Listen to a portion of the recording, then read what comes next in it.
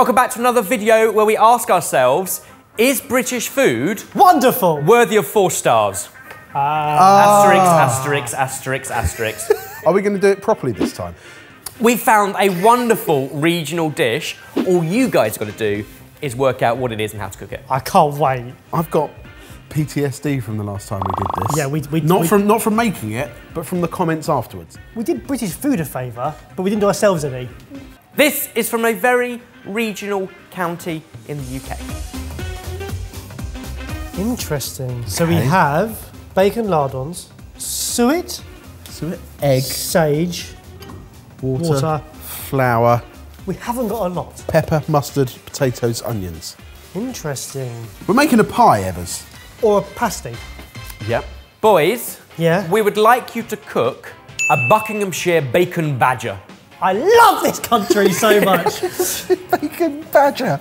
right, so Buckinghamshire isn't far from where we grew up. No, it's not. But have you ever heard of Nope. a bacon badger? I've been to Milton Keynes quite a few times. I've never had a bacon badger. The city of Buckinghamshire is indeed Milton Keynes, known for many, many wonders. Roundabouts. Ski slope. Ski slopes. Ski slopes. Ski slopes. So, uh, Formula One. Formula, lots of Lots of Formula Formula One One teams. and it's uh, it's essentially a city that was built based on American cities. It's on a grid. Basically, we know too much about Milton Keynes. But nothing about a bacon badger. Double checking, there's definitely no badger involved. Bacon is the meat. There is no badger. Right, okay. I'm going to give you the recipe in a few simple steps. Step one, make the pastry. Just slightly confuse things, um, eggs, they tend to roll around and move. So I placed it on the suet to stop it rolling around and moving. It doesn't mean it's necessarily required for the pastry. Egg wash. Egg wash. Now, ratios wise, have you been kind to us? Fairly. Okay, cool. Dry stuff's weighed out, wet stuff's weighed out, There's one thing I know about pastry. It's wet and it's dry. And one thing we know about great British food is that suet crops up in an awful lot of sweet and savoury dishes. It's basically beef fat with a pretty long shelf life. It's very, very cheap and highly nutritious. Do we need this bit of flour? No. Nope, fine. What texture are you looking for? It's got to be pliable because you're gonna ha- we're going to have to shape it somehow. It's either going to be going into balls like dumplings, Yeah. or it's going to be encasing something. Not dissimilar to the texture of a scone batter.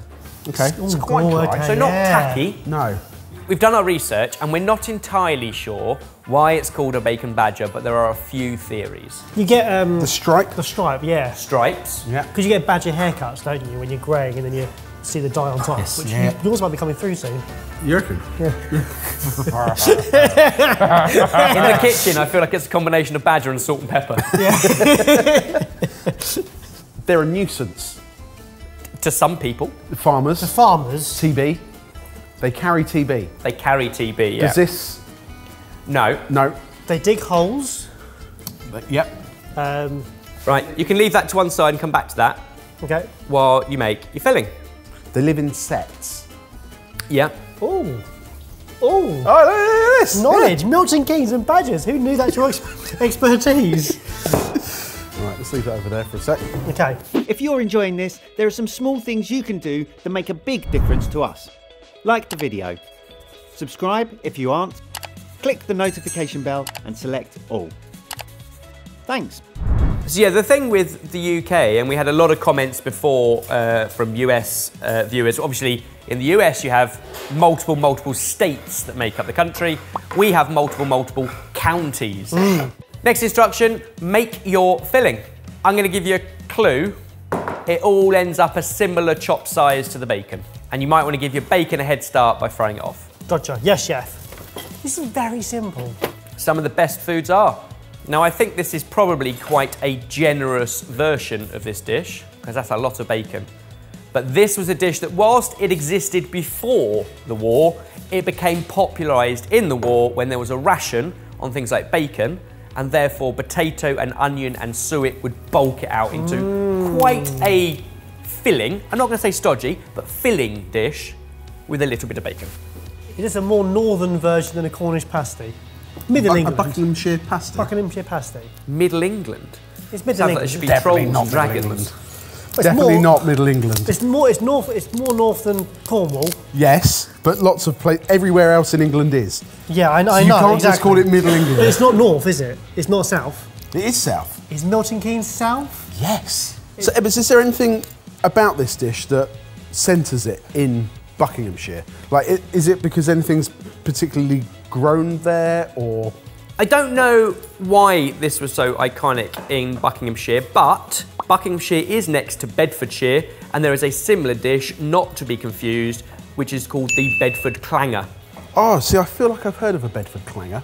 40% of all of the London Underground stops that sit outside of the M25 are in that county. No way. Yeah. Yeah, fun fact. Met Line. No, it's not that fun. I think understanding regional food is really important when you look at a nation's food because we often say, oh, we're having Indian food or we're having Chinese food mm-hmm. or we're having Italian food. And those are so phenomenally regional. Mm. Why don't we think the same when we think British food? How wrong can we get the Buckinghamshire bacon badger?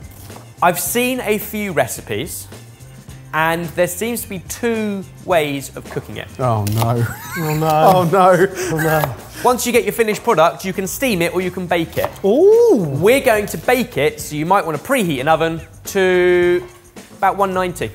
A baked badger. So for those of you at home who are looking at us going, you don't bake a Buckinghamshire bacon badger, we know that you can also steam it, but we are baking it. Most of the recipes we found, which are more recent online, were baked, but some of the original ones were steamed. So you can go either way. Steaming takes about three hours, baking takes about an hour. Which one do you think we're going to do? Right. This is being Right, done for okay, efficiency. Yeah. Yeah. yeah. What's the usual eating scenario for a Buckinghamshire Yeah, bacon? Is it on the go or we badger? sit sitting down? No, I think this is a family style dish. There might be some Oh, okay. veg on the side. Uh, often served with a dollop of mustard, which is why we've given you a jar, but it could also have a sort of saucy gravy thing going on. It's put in the middle of the table and sliced up. And the slicing of it gives you potential stripes, which might imply badger. Might. Right, might. Combine your potato, onion, fried bacon, sage, salt, and pepper in a bowl. So remember when I said try and cut your fillings to the same size as the bacon lardons? Yep. How's that looking, Baz?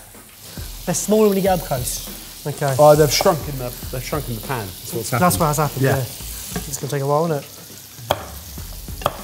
This is more what I'd associate with the British Isles, though. This type of food. The Parmo did catch me by surprise a little bit. You think in centuries gone by, the sign of great hospitality and wealth was putting on an absolute feast. So whole uh, hams and boars and capons and turkeys, roast beef, and a huge, great big feast of a spread. And then came along like haute cuisine from France, which was more about having different courses and having stuff plated and perfect. And I feel like we still have the reputation of the big roast meats and meat and two veg basics. That's what most families in the UK still rely on most weekends. That's potentially the only time that families get around the table together, isn't it? It's smelling simple, but it's smelling good. Regional dishes have lots of different versions because every family has their own way Yep. of doing things. Some families put tomato sauce on a parmo. Let it go, Jay, let it go. Do you want to know another Buckinghamshire fact. A badger fact? A badger, Badger fact. fact. So we've said that it might be called a bacon badger because when you slice it later on, you have kind of stripes in it. But it might also be called a badger because a badger was someone who used to trade, That's a barter. Specifically flour. Oh, okay. Is that the same as badgering? so- Like, is that where When you you're get the badgering term someone, Badgering when I someone. badger yeah, you. stop badgering me. Leave me alone, Ebbers. He doesn't Ba- know. ba- ba- No, he's ba- looking- he's looking to- up. to badger look- someone he's is to looking it up. bother He- someone He or doesn't, to- he doesn't know. Look. Origin of the phrase to badger someone. Oh dear.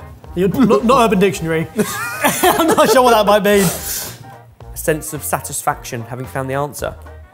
That was just the badger, that was. Just the badger. Just, you know, I've got it.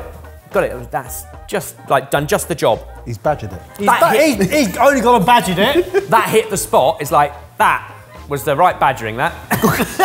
Oh, thank you. That No, was hang such on, a good don't badger. That's exactly what I needed. So here's the thing you might recognise more. A jam roly-poly. Yes, Yeah, classic. Why aren't we doing that? Because we're doing a bacon badger. We're going to roly poly it though. Is not gonna what, is that what you roly-poly do? it, are You roly poly it. Suet pastry. Yeah. Filling. Yeah. Yeah. Roll it up. No Yes. way! We're making a badger roly poly. Badger roly poly. Now we're talking. now we're talking. How thick are we looking? You certainly don't want your chunky potato to poke through a thin pastry. Are we not serving this with mashed potato? No, the potato, a bit like a pasty. The potatoes inside. If there's one thing badgers love, is mashed potato. Mashed Oh, I see. Exactly. All right, Bodger. I mean, that's that My- is a top. That is a throwback. How many people remember Bodger and Badger? Cut it to shape and then roll, or do you think just leave rough edges? Rough and ready and then shape it at the end. Remember, this is a dish that came out of austerity and therefore you wouldn't want to waste You wouldn't be throwing it away. I kind of want to throw some apple sauce at this now. Don't. D- d- know what I what- mean? Why don't you throw tomato sauce at it? I wouldn't do that. No. So this end is thinner. So do you want to start at this end? Oh, that does, that's Yeah, quite. yeah. Not... Okay, let's get some egg wash in there. Egg it's wash. A bit more sticky. What are you doing? Interesting. Eggy glue. Tuck, tuck in. Tuck it in on itself. You want it sealed in so that the potato inside is cooking in its own kind of sealed oven. It looks good. You season the filling quite nicely. I think you might have forgot salt in the pastry, but 190 degrees for about an hour. Tender badger every time.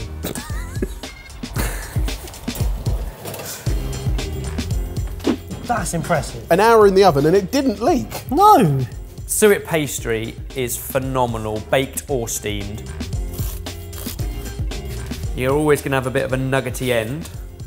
See what happens? If I bake in it, you've got a crispy outside, but it's steamed the inside. And the suet is soft in the middle. Oh, yes! I'm not picking up on the stripes, Ebbers. Layers. yeah, but I mean, I'm not saying I'm not saying a badger is a zebra.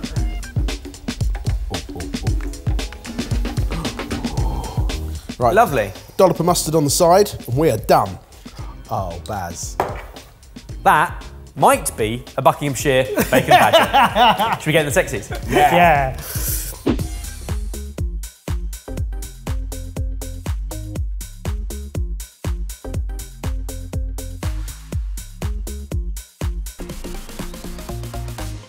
Mike, in front of you is something rather special. Lift cloche A. Here we go. Okay. Very regional British delight. You've done a mustard smear. Like, that is so bad. It needed a flourish. okay. So we've got some pastry, we've got some bacon. Hang on, it's got a Swiss roll shape. it's a British roll. This is from Buckinghamshire and it's called a bacon badger. Great. I love it. And if you want to lift cloche B, you can see what the whole thing was before we sliced it. Oh, great. It's like a Wellington, but a badger. A mustard schmear. Now we've seen how well it's sliced, we think perfect picnic attire. Yeah.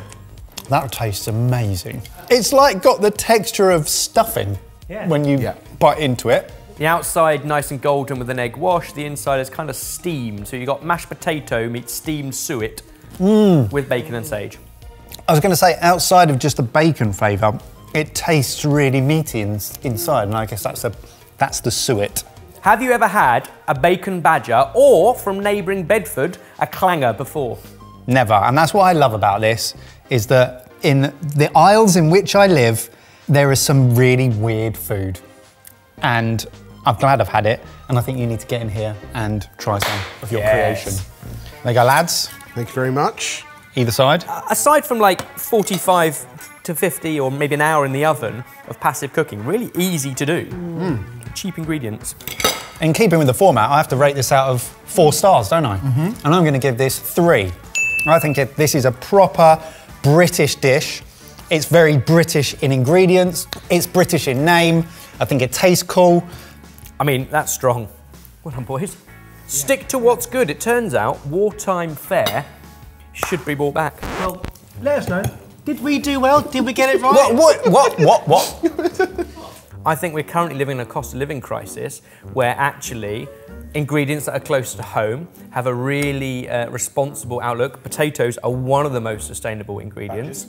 I think bring back a few wartime classics. Good. I'm glad that uh, for your sake, I gave you the opportunity to clarify what you were talking about. I like it so much, I think we're going to write it as a hero recipe and put it on Sidekick. Ah, that's a great idea. Definitely go and get that and try it for yourself because it is great, and I assume it's quite easy because you didn't nose it up. Also, comment down below, let us know which other British classics should we be reviving? I missed what you said, so I'm confused. He said something about he loves war. He said, "Bring back wartime because the food's good." Right, okay.